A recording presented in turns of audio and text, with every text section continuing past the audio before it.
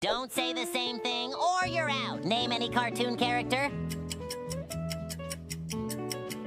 If you said SpongeBob, you lost. Question number two, name any car brand. Already out. You can get a revive by hitting save. If you chose Remake, get out of here. Question number three, press and hold the comment button and select one of the four emojis.